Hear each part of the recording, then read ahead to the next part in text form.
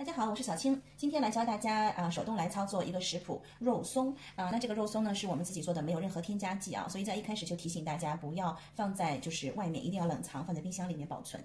好，我们先来称出来三百克的里脊肉，或者在嗯加拿大有的时候叫猪柳肉啊，就是很瘦的，我已经提前切好了，大概三厘米啊大小。好，我们把称的功能点出来，第一个就是称。好的，好，三百零一克。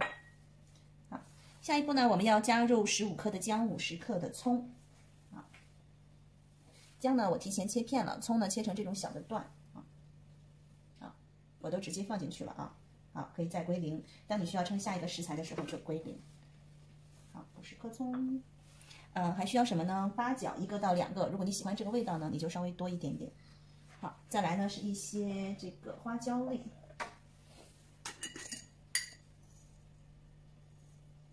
你可以拿出几粒花椒放进去，当然我们食谱呢是建议你放在一个料包里面啊，也可以的。好，接下来归零，我们来加入一些酒啊，需要十五克的酒。好，再来水七百五十克，归零。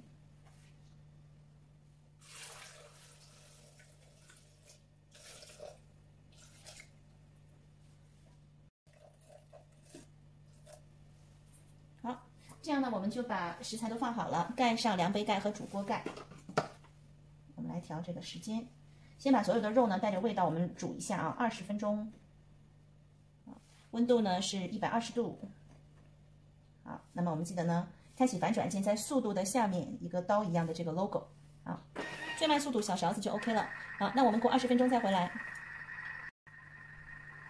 好，我们还剩下两秒钟，时间到了，音乐响起。我们等待它自动解锁。好，大家可以看一下我煮的这个肉在底下哈，哇！因为呢，它是说我可以把所有的这些葱姜调味料放一个卤包里面，一个纱布包里面，我没有放。好，看到吗？我就把肉这样挑出来就好了。但是你可以把水倒掉，这样容易一些哈。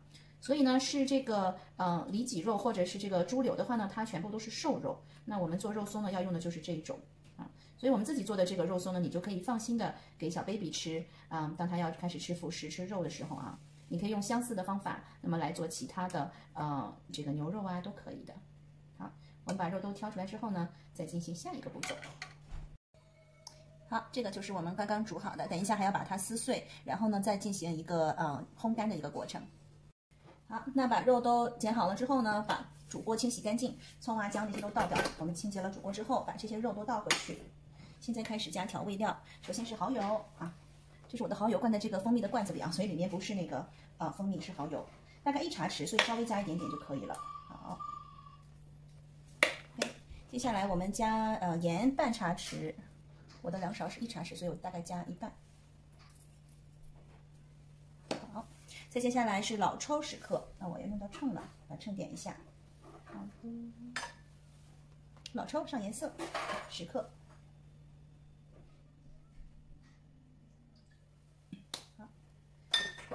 之后，我们再来加糖十五克。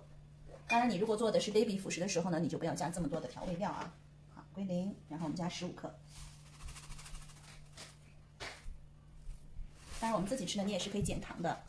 好，盖上煮锅盖和量杯盖一起，手动的来调制，只需要五秒钟，把里面的肉都撕碎。好，速度从四到六。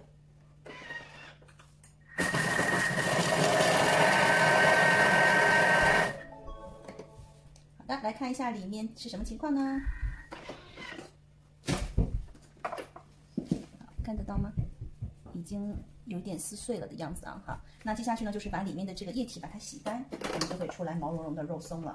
那么怎么洗呢？呃，怎么冲烘干呢？就是二十分钟，手动调啊，然后温度扭到最大，Varoma 也叫做蒸煮键。好，正刀反刀没所谓，因为你里面的那个呃肉已经成丝了啊。好，速度扭到二。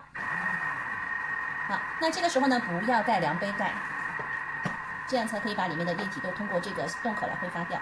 好，我们过二十分钟再回来看看里面是什么样子哦。好，我们还剩两三秒的时间就到喽。打开来给大家看一下啊，哇，还真的是毛茸茸的肉松。我来倒出来给大家看看啊。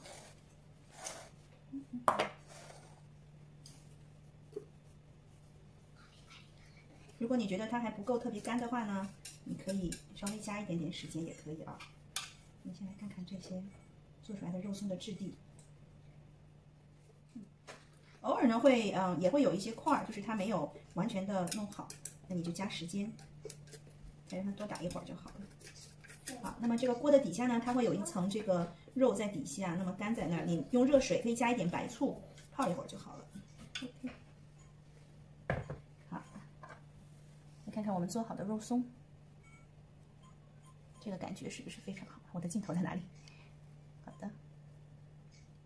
好，那我的肉松要做什么呢？其实接下去我是想做这个肉松小贝啊，我会再开另外的一个视频来做啊。好，可以挑一挑，有这种肉块的可以把它拿掉。好，记得大家要放冰箱保存，因为我们没有防腐剂，嗯，和你在超市买回来的肉松是不一样的。好，今天的肉松我们就教到这里啦，下次再见，拜拜。